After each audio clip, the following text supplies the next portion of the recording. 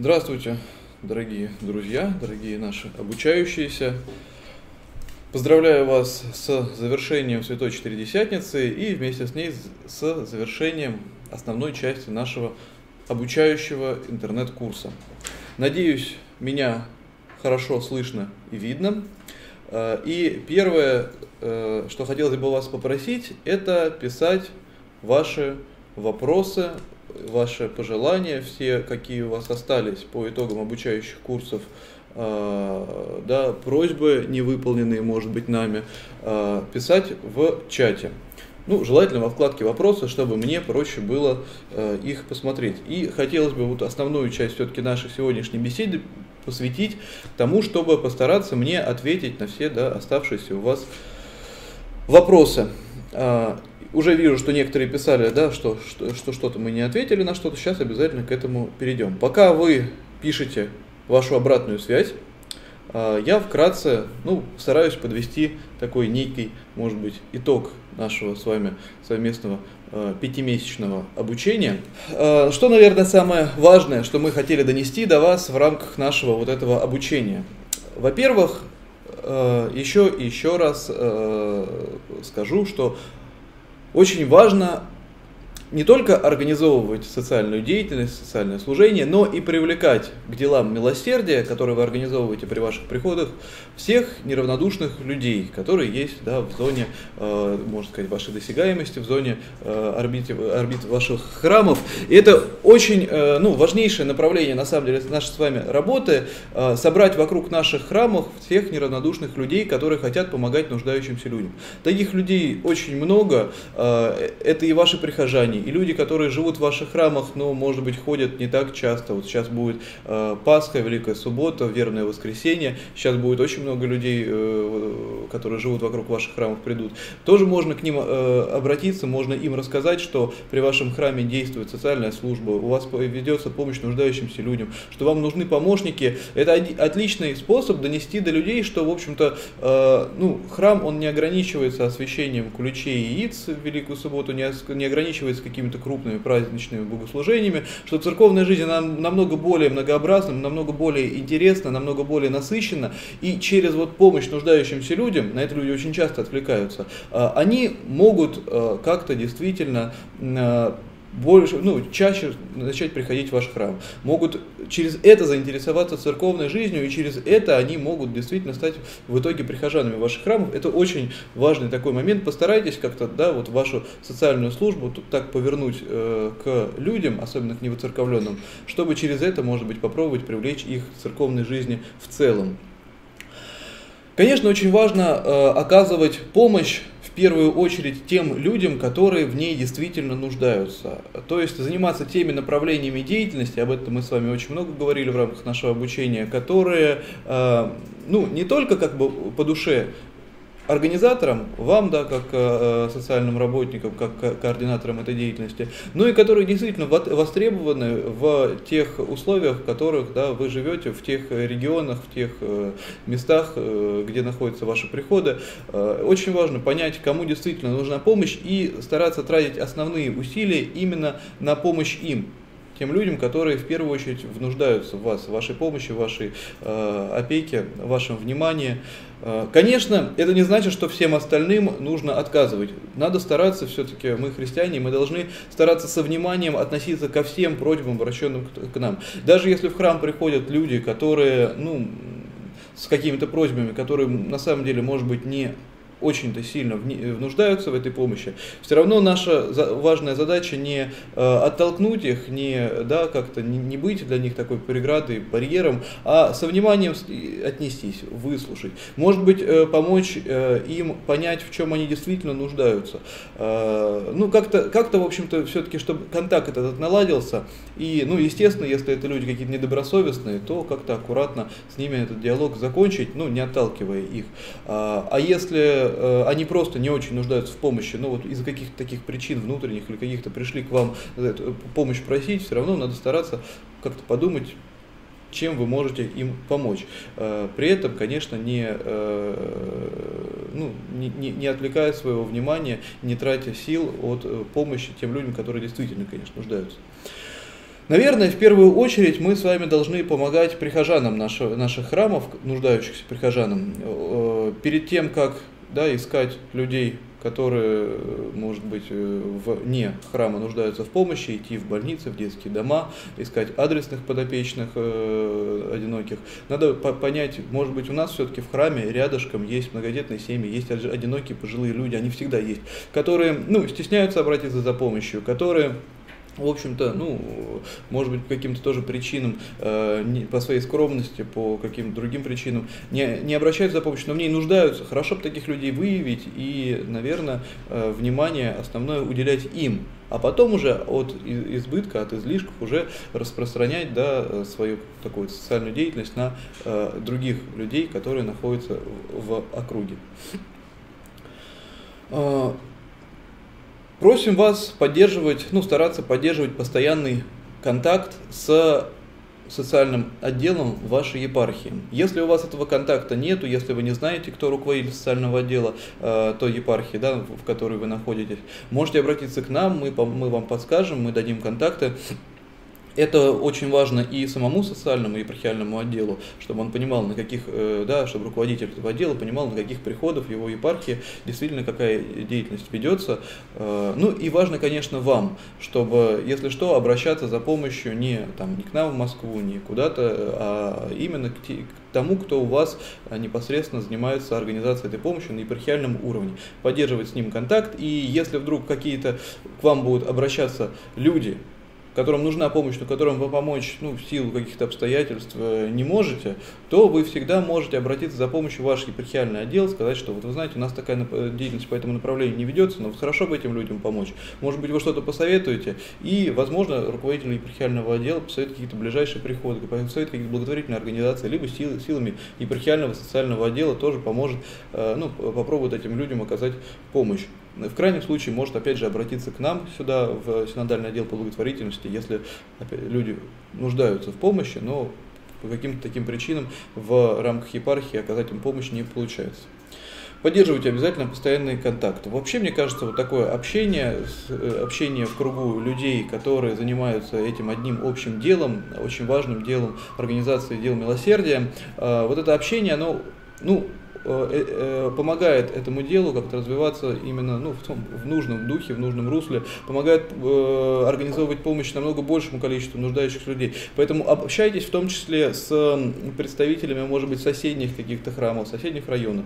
В каком-то храме хорошо помогают быть бездомным, в каком-то храме организована помощь многодетным, в каком-то храме есть группа милосердия, которая ходит по пожилым людям на, на дому, где-то есть сестричество, которое помогает в больнице. Все это охватить в рамках одного храма, наверное, в рамках одного прихода, достаточно сложно. Но если вы будете знать, да, если вы будете общаться с соседними храмами, соседними приходами, если вы будете примерно представлять, где какая деятельность ведется, а все-таки каждый храм, он, ну, так или иначе, какую-то, может быть, э, социальную помощь э, организовывает, вы всегда сможете совместно помочь ну, очень многим нуждающимся людям, обратившимся к нам за помощью. Наши храмы с вами, э, они являются, может таким, конечно, ну, э, местом притяжения нуждающихся людей. Это, ну, это факт, и это, мне кажется, это правильно. Это хорошо, что у людей э, есть такая ассоциация, что в церкви люди могут получить помощь. Очень часто люди приходят в храм за помощью, когда ну, уже нигде не могут помочь, уже вот везде обратились, им отказали, и это последнее, куда они идут. И мы, конечно, должны постараться им помочь. Даже если мы конкретно не можем этим заняться, мы хотя бы должны постараться ну, этого человека э, довести до, до, до того, кто ему поможет будь то соседний приход, будь то руководитель епархиального вашего отдела, либо к нам, да, в Москву обратиться. Желательно не просто его как-то, да, ну вот звони туда, а все-таки, чтобы вы нам обратились, сказали, что вот вы знаете, у нас есть такой прихожанин, или что у нас к нам обратился такой человек, ему нужна такая-то помощь, э, ну как бы за него немножко походатайствовали, рассказали, что это за человек. Тогда и нам, либо вашему, да, и вашей епархии гораздо проще будет ему э, оказать помощь. Поэтому не замыкайте себе, не варитесь в собственном, да, можно так сказать, соку в рамках да, одного своего прихода. Старайтесь общаться со всеми, кто занимается э, делами милосердия вообще ну, в, в округе. И, наверное, самое важное, да, о чем стоит, э, на чем стоит закончить, это то, чтобы мы с вами не стали простой социальной службой. Самое страшное, что может случиться с приходской социальной деятельностью, с э, приходской службой милосердия, это если она скатится к деятельности просто социальной службы.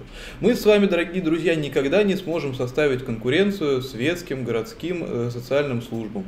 У них есть и бюджеты, у них есть и сотрудники, у них есть люди, у них есть специалисты, у них есть поддержка свыше, административная, юридическая.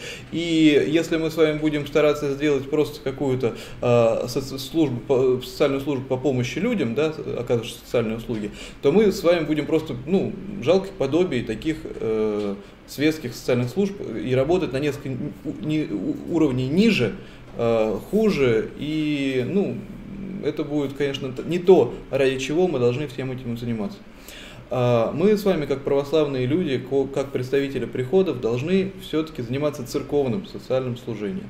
И это предполагает тем, что э, у церковного социального служения все-таки есть две основные цели – Одна цель – это, конечно, помощь тем нуждающимся людям, которые обратились к нам. Это есть человек, есть одинокая бабушка, которую надо иногда э, посещать, помогать, готовить обед. Хорошо, мы должны действительно ее посетить, помочь, э, приготовить обед. Вот то, что ей нужно, мы должны сделать. Это очень важно.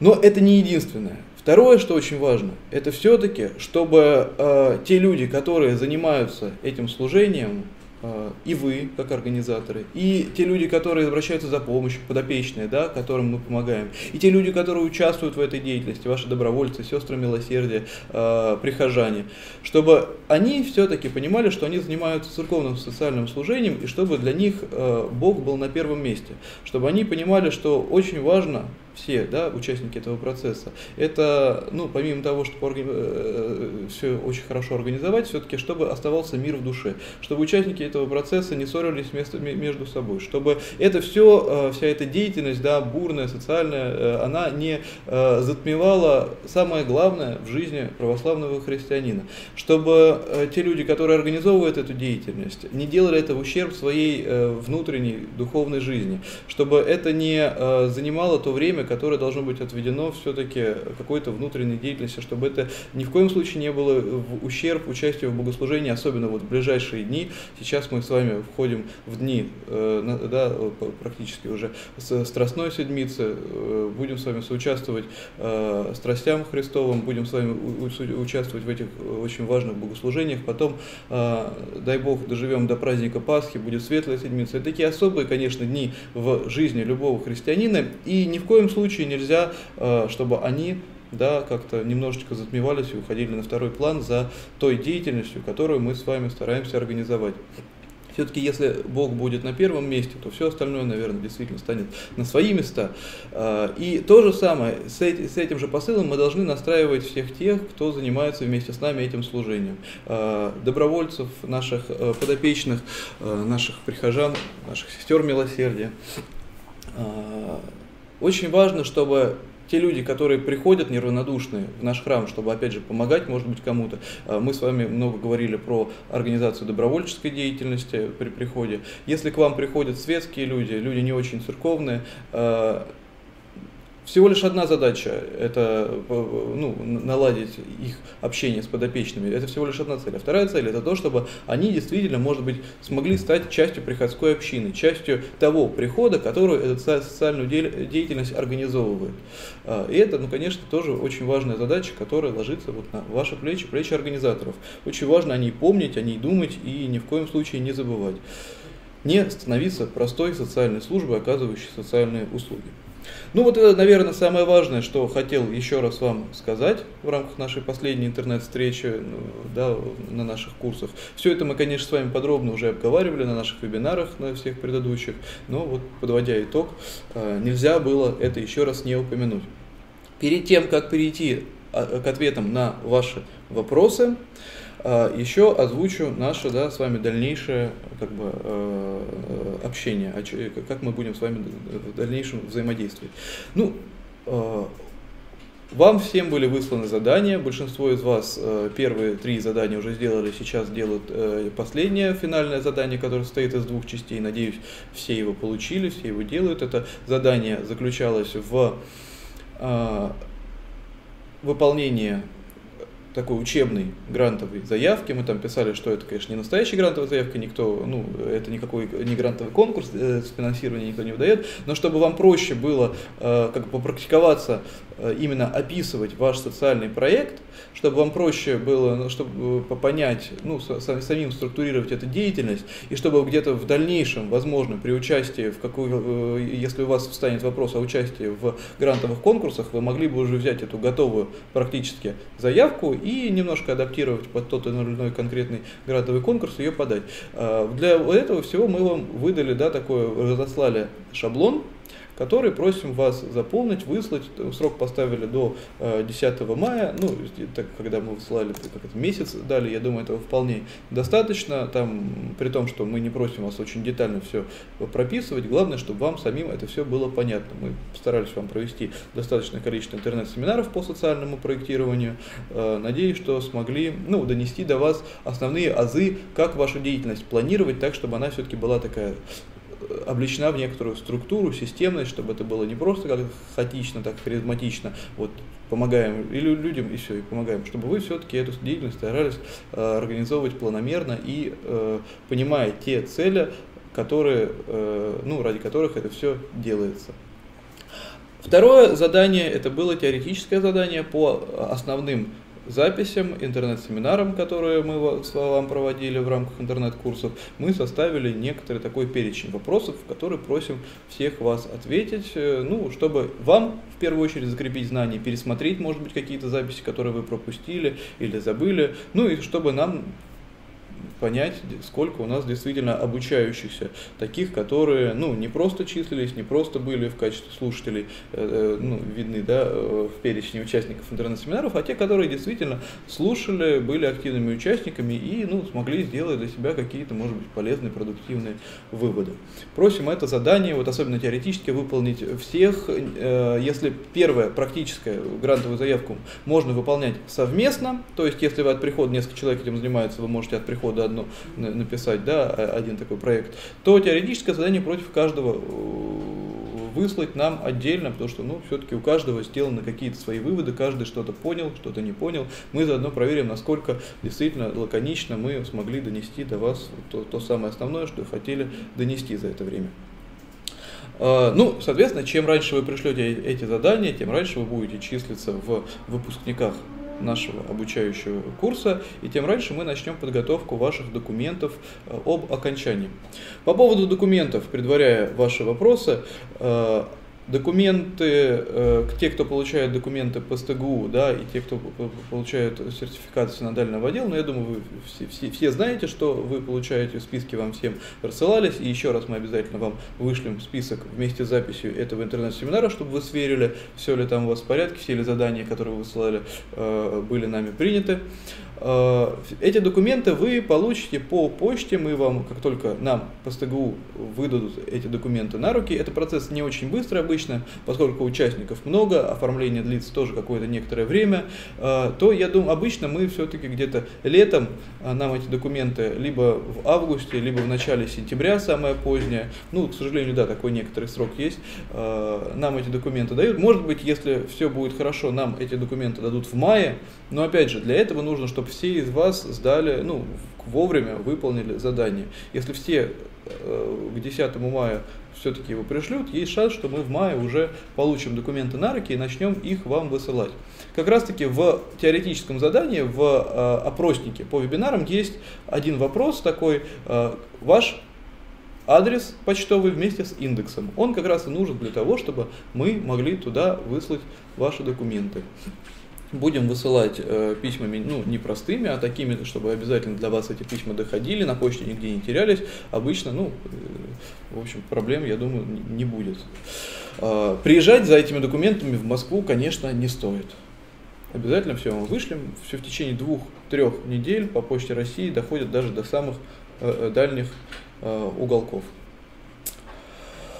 Кроме того, всех выпускников наших обучающих курсов мы приглашаем на стажировку в Москву или в Екатеринбург. У нас сейчас две таких а, базы, можно сказать, где мы проводим стажировки для социальных работников, для сестер милосердия, которые занимаются организацией да, вот, милосердного служения. А, После Светлой Седмицы мы вам обязательно всем разошлем опрос, а, какие направления социальной деятельности вас в первую очередь интересуют и где бы вы хотели пройти эту стажировку. В Москве вам удобнее или в Екатеринбурге. Э, эта стажировка, сразу скажу, проводится бесплатно. С вас, ну, вам нужно только добраться до Москвы. А, а здесь мы вас уже встретим, поселим, ну или до Екатеринбурга, поселим, будем кормить и составим такую программу, которая будет максимально отвечать тем запросам, которые вы отметите вот в этом опросном листе, который мы вам вышлем. Разумеется, это по желанию. Это ни в коем случае не обязательно и не стоит приезжать на стажировку, опять же, еще раз э, повторюсь, чтобы получить документы. Об окончании обучения документы мы будем высылать всем на основании четырех заданий, выполненных по почте. Но если у вас есть желание посмотреть, как социальные проекты, о которых мы вам рассказывали э, на вебинарах, работают воочию, если есть желание поучаствовать в этой в их деятельности, встретиться лично, не только через экран, через вебинары с э, специалистами, экспертами, которые для вас эти вебинары проводили, но лично встретиться, посидеть, попить чай, задать какие-то вопросы. Э, если у вас есть такие желания и необходимость, тогда мы вас, конечно, э, с радостью э, в Москве, ну или в Екатеринбурге примем.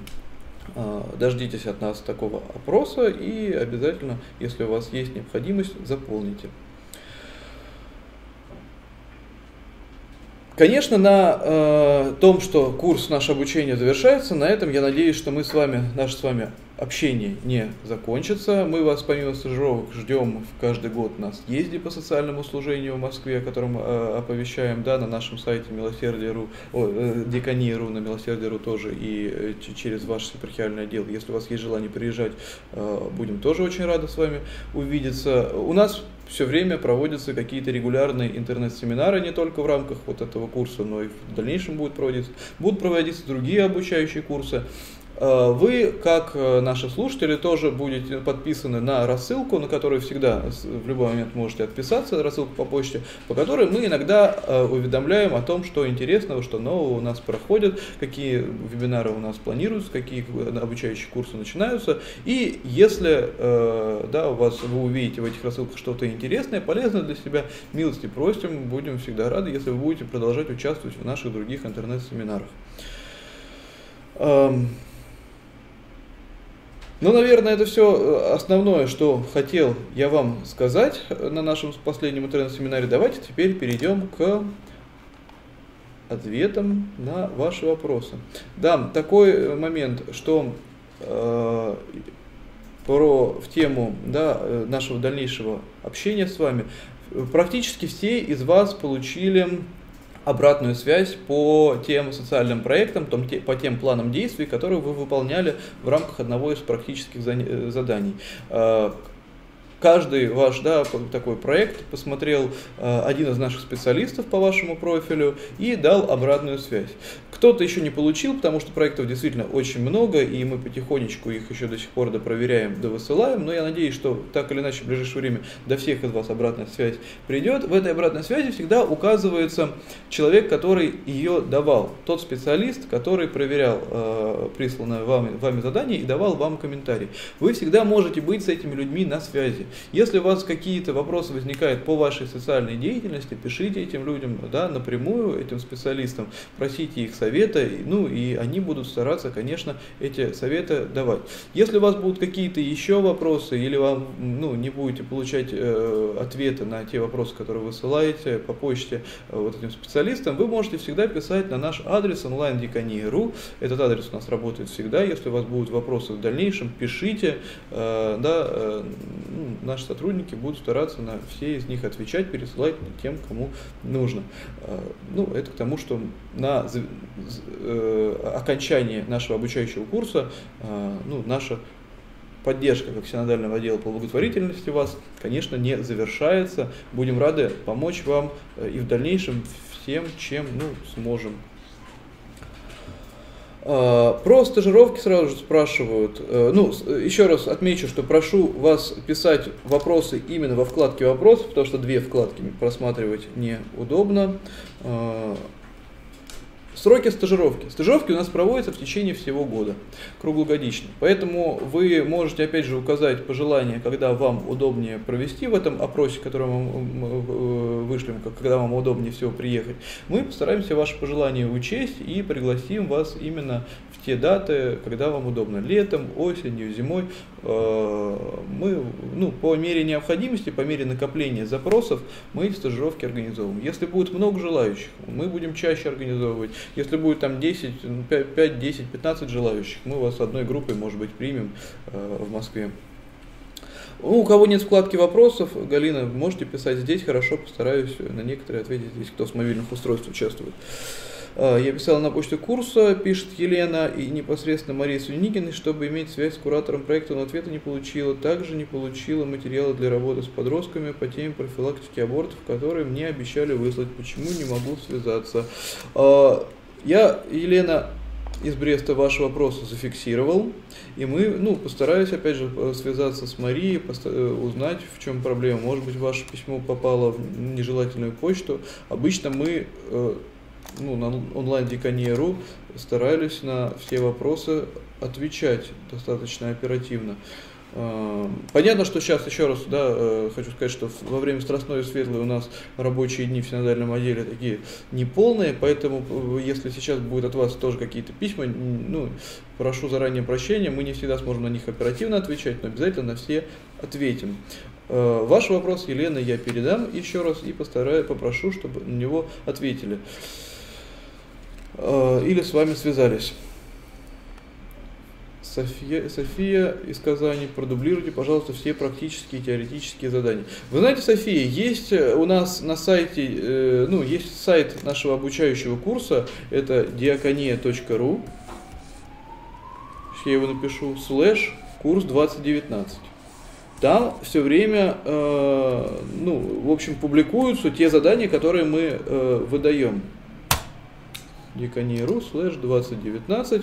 Э, в, если вот откроете, там есть объявления, вот, и в этих объявлениях есть все практические задания, мы прям по мере их рассылки там публиковали.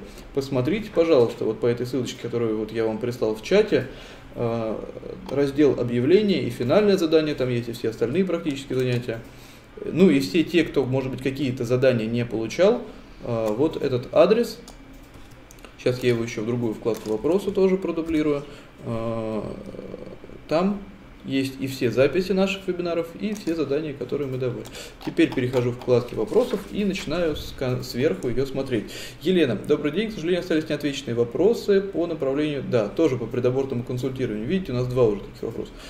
Ну, а, один вопрос. Да, одна сложность случайность, две это уже совпадение. Если будет три просьбы по, по, по этому направлению, то это уже будет система. Ну, э, значит, может быть, как, какая-то сложность, может быть, вы куда-то не туда писали, или м, вам случайно дали не тот контактный номер, э, контактный, точнее, e-mail, э, Марии Суникиной в частности. Я оба ваших вопроса зафиксировал, Елена, и ваш, э, и, и Елена вторая, да, из э, Бреста ваш, обязательно разберемся. А, отец Сергей из Владимирской области. Мне отправляли на доработку первые два задания, это редактировал, отправил, но приняли их или нет, мне ответили. Я думаю, если вам не ответили, значит их приняли, все в порядке. А, еще раз повторюсь, что мы вам вместе с записью этого интернет-семинара вышлем список всех обучающихся с комментариями, у кого что не хватает, посмотрите. Если у вас там что-то будет не так, вы там увидите напротив своей фамилии. А, Мария Обнинск, если пришел ответ о получении заданий проекта, но так и не было рецензии. Но я уже ответил, что скорее всего мы либо, скорее всего мы не успели еще наши специалисты его проверить в ближайшее время, я надеюсь, ну, в начале мая, самое позднее все-таки постараемся постараются наши специалисты дать обратную связь.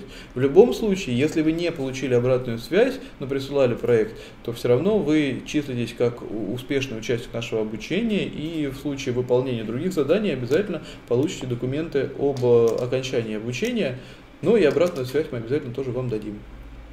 Елена Астрахань, подскажите, пожалуйста, какие сроки реализации проекта с 1 июня по 31 июня реализация проекта за счет гранта должна завершаться не позднее Нет, ну еще раз э, Елена рассказывает, что, конечно, за счет, не за счет гранта, мы грант никакие не даем, мы вам выдали учебную заявку, чтобы вы попрактиковались такие заявки писать. Мы вам предложили сроки действительно с 1 июня по 31 декабря, чтобы вы распланировали, вашу, да, ну, распланировали ваш социальный проект, вашу социальную деятельность именно на этот срок, чтобы сейчас еще апрель, да, чтобы вы подумали, чем вы в рамках вашей социальной деятельности э, приходской будете заниматься в второй половине года Э, вот, ну, второй половине вот этого 2019 года.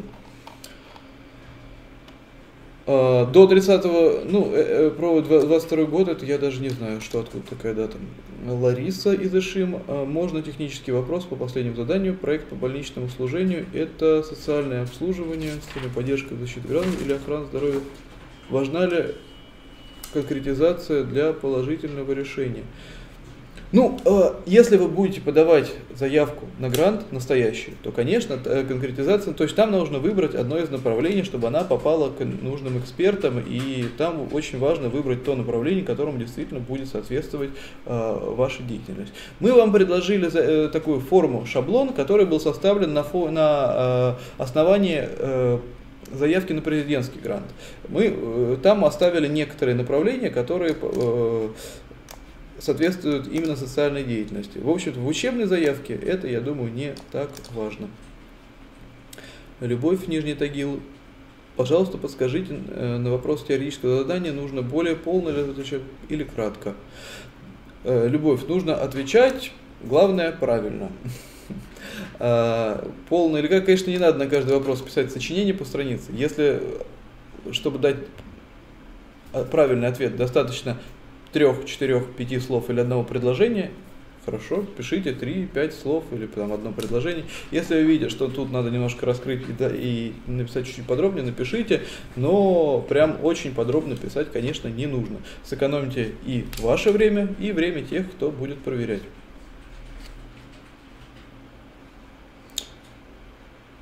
Сколько дней будет проходить стажировка? Все зависит от э, ваших интересов. Если вам будет интересно посмотреть все на свете, и противоабортную деятельность, и помощь бездомным, и больничное служение, и организация службы добровольцев, э, и так далее, и так далее, и так далее, то, конечно, тут нужно приезжать, наверное, минимум на неделю. Если вы нам, отвечая на э, наш, да, наше письмо, которое мы вам вышлем, э, перечислите много направлений, там ну, мы вам составим программу на более длительный период. Но просим вас все-таки э, ограничиться несколькими направлениями. Все-таки каждый из вас занимается чем-то в особенности. И в рамках нашего обучения мы тоже вас э, как бы э, рекомендовали вам выбрать что-то основное и этому уделить ну, побольше внимания. Поэтому выберите там одно, два, три направления социальной деятельности, такие, которые вам особенно интересно э, узнать, посмотреть, обменяться опытом. Ну, я думаю, 3-4 максимум 5 дней этого будет более чем достаточно для стажировки. В любом случае, программу будем составлять, конечно, под, под ваши э, э, интересы и нужды. Александра, да, по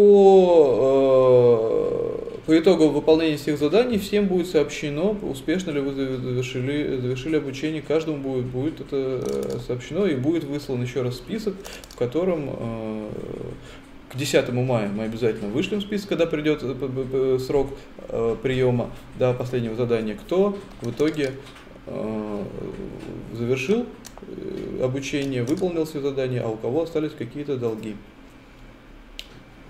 Обратной связи пока не получилось. Очень надеюсь на консультацию специалиста из поклон. Э, Елена Астрахань. Пробовала связаться с специалистом, но, увы, нет ответа. Э, Елена, я спрошу у Ирины, возможно, она просто еще не успела ответить. Она, Ирина у нас, Редько, она мерная молодая мама с ребенком, и она потихонечку проверяет проекты и по мере возможности отвечает на письма, но поскольку она в декрете и помогает исключительно как доброволец, тоже, к сожалению, она не может э, своевременно, э, очень быстро отвечать на почту. Как и у вас, у нас тоже большая в синодальном отделе проблема, ну или не проблема, просто факт, с которым нужно жить, что у нас, конечно, очень не хватает людей, э, очень не хватает э, сотрудников, которые могли бы оперативно всем этим заниматься. У нас не огромный штат, и у нас нет финансирования для большого количества сотрудников, поэтому, ну вот сколько у нас есть людей, столько есть на, по, по, ну, в таком темпе мы стараемся работать. Э, стараемся привлекать добровольцев, э, стараемся привлекать специалистов, которые могут, да, в качестве, вот как вот Ирина, например, Мерна, в свободное время этим заниматься. Ну, просим вашего прощения, если не всегда оперативно, к сожалению, можем отвечать на вопросы. У вас очень много, и слава богу, что так много обучающихся, так много неравнодушных людей, которые хотят повышать э, да, свою компетенцию, хотят помогать нуждающимся людям. Это очень всегда радостно. Мы очень хотим э, все-таки на все ваши вопросы ответить, всем вам помочь. Ну, работаем вот как в том темпе, в каком можем. Елена, э, документов образования в силу утраты восстанавливать очень долго. Уже могу ли я рассчитывать на получение сертификата? Конечно, можете, Елена. Да, мы об этом говорили еще в начале обучения. Если у вас нет документов об образовании, но вы успешно прошли наш обучающий курс выполненных все задания, все равно конечно, сертификат именно синодального отдела благотворительности вам выдадим. Елена, напишите, пожалуйста, ссылку на таблицу с участниками курсами. Елена, мы вам вышлем по почте, ладно, я сейчас э, ссылку по, э, не, не, не имею под руками. И опять же, вот по этому адресу, который вы видите на экране, diakonia.ru slash 2019, в разделе объявления будет обязательно опубликован список. Можете туда зайти, вот можете использовать это как ссылку такую. Наталья Черкасы, подскажите, пожалуйста, учебный гранд должна быть как-то с сделанным ранее проектом связан. Да, как мы вам уже говорили, желательно, чтобы она из этого проекта выходила. Вообще все наше обучение было построено так поступательно. Мы сначала вас обучили выявлять цели, ну, сначала целевую группу мы вас обучили, да, э, выявлять, потом ставить цели, планировать задачи. Следующим этапом мы вас научили все это просто планировать в качестве социального проекта, поэтому, конечно, в идеале, ну, как это предполагалось изначально, это должен быть один процесс. Та социальная деятельность, которой вы действительно занимаетесь, э, тем людям, которым вы собираетесь помогать, чтобы вы их потихонечку, потихонечку эту деятельность описывали. Она и у вас в голове благодаря этому структурировалась, и благодаря написанию на бумаге вы могли бы этого плана, вам было бы проще придерживаться и ну, следить за тем, насколько все э, идет так, как вы планировали, либо что-то надо перепланировать. Ну, об этом во всем говорилось на вебинаре, поэтому желательно, конечно, чтобы это все было в рамках одного процесса, все вот те задания, которые мы вам выдавали.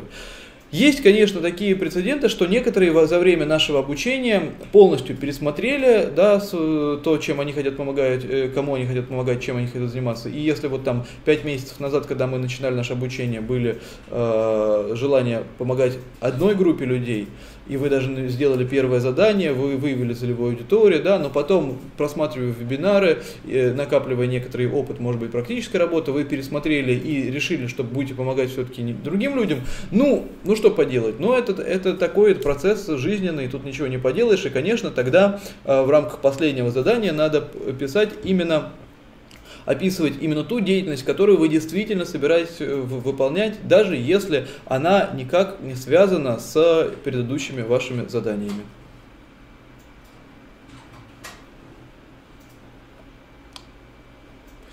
Татьяна, прошу ответьте, что делать, если меня не стало Стра- странно, почему у вас не стало в списке участников обучения, Татьяна, я пометил, спрошу у Юли, которая у нас ведет список обучающихся. Да, и большая просьба ко всем к вам, вот Юля, которая наш администратор нашего обучающего курса, которая отвечала на многие ваши, э, почти на все ваши письма, которая вела списки, она сейчас со сломанной рукой лежит дома, просим э, о ней молитв, чтобы у нее скорее всего зажило, и она вернулась в строй.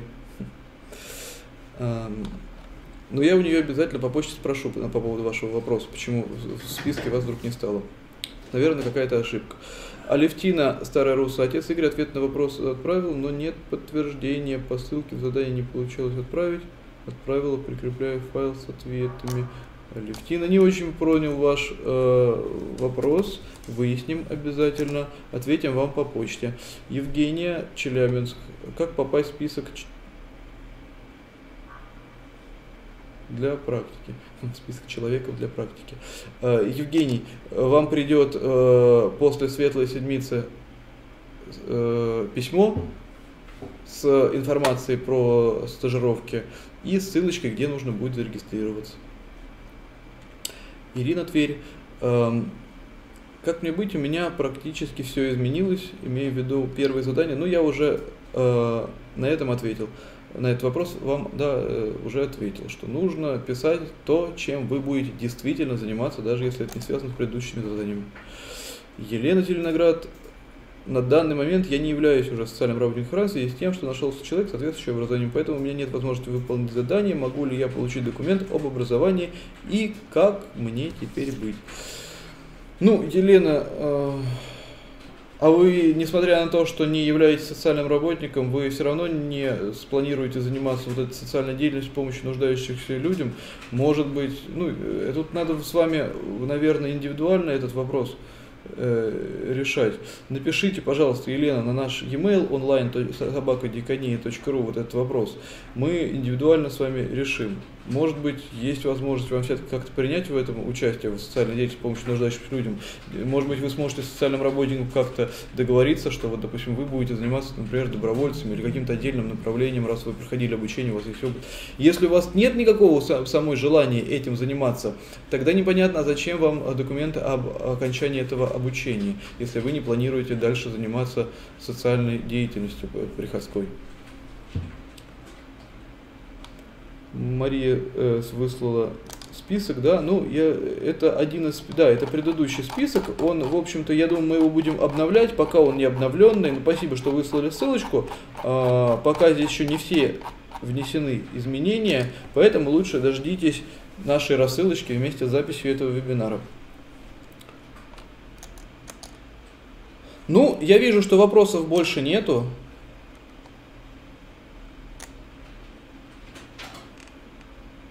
Вроде как на все, значит, я надеюсь, ответил.